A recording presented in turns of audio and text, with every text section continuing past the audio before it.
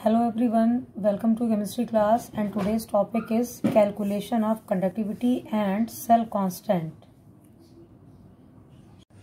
now अब हम करेंगे calculation of conductivity and cell constant अब कंडक्टिविटी आपको पता है क्या होती है? दैट इज़ के या कप्पा एंड सेल कांस्टेंट को हम डिनोट कर देते हैं जी स्टार से।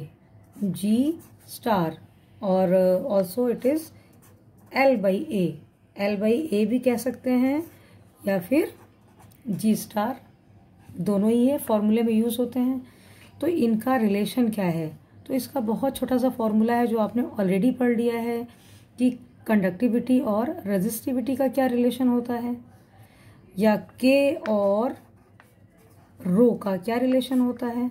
तो कंडक्टिविटी और रजिस्टिविटी इन्वर्स होते हैं एक दूसरे के इन्वर्सली प्रोपोर्शनल होते हैं। एंड आपने रो का भी फॉर्मूला पढ़ रखा है। ऑलरेडी आपको पता है कि rho is equal to R into A by L ये भी आपने पढ़ा है। बस अब इस रो की जो वैल्यू है, वो इस जगह हमें पुट कर देनी है। And you will get the relation of conductivity and cell constant तो देखते हैं क्या होता है अभी। तो के या kappa is equal to equal का साइन आएगा यहाँ पे। अब वन अपॉन रो रो की जगह हमें क्या रखना है? R into A by L ठीक है? और अभी मैंने बताया कि एल बाई ए क्या है?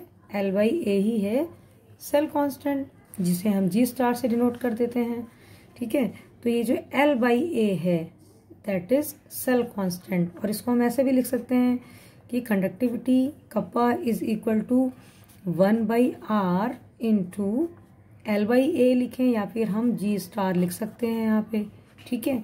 एंड आपको वन बाई आर का रिलेशन भी पता है कि वन बाई आर क्या होता है? रेजिस्टेंस का इन्वर्स क्या होता है? कंडक्टेंस और जिसे हम डिनोट करते हैं जी से, ठीक है? तो K conductivity G conductance and G star is cell constant इसको हम वर्ड्स में भी लिख लेते हैं क्योंकि इसमें कन्फ्यूज़न हो सकता है।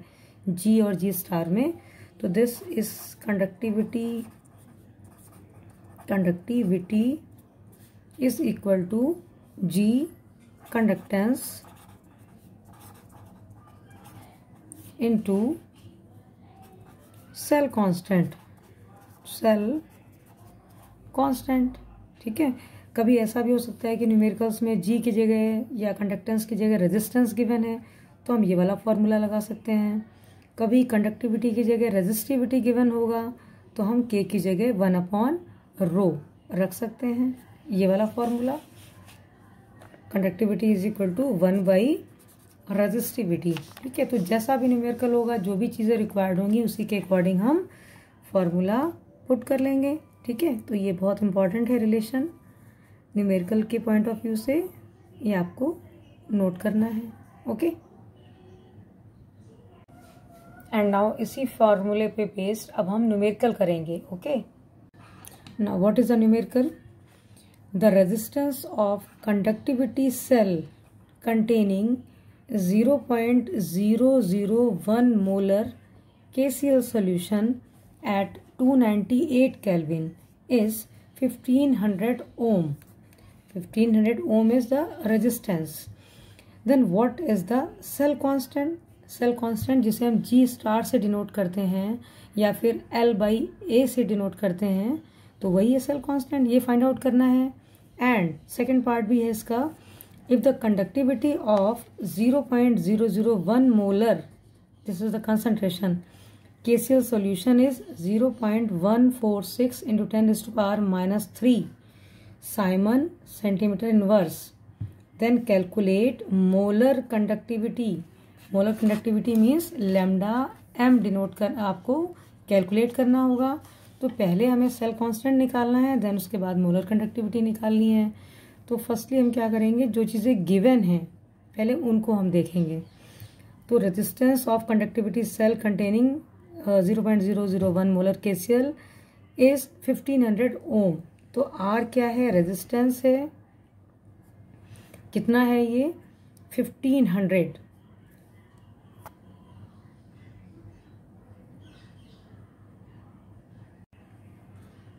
fifteen hundred ohm ये तो हो गया रेजिस्टेंस एंड निकालना है हमें G star that is cell constant ये फाइंड आउट करना है।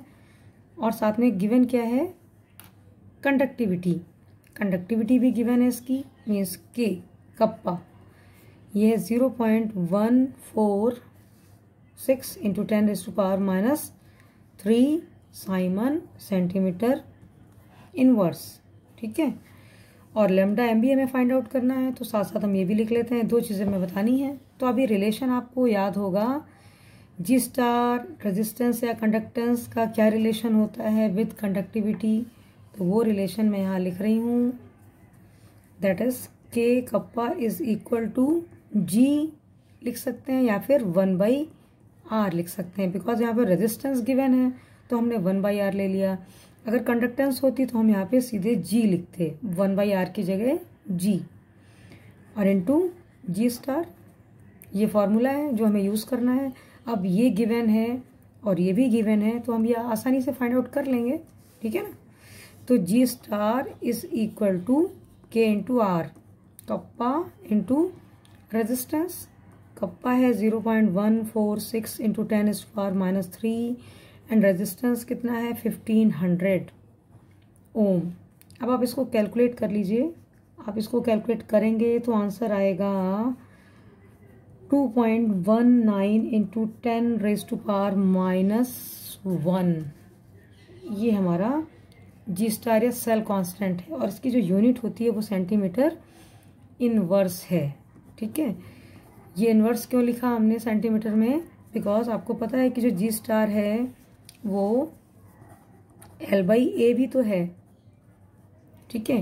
तो एल क्या है? सेंटीमीटर में होता है और ए क्या है? एरिया ऑफ़ क्रॉस सेक्शन है सेंटीमीटर स्क्वायर में है।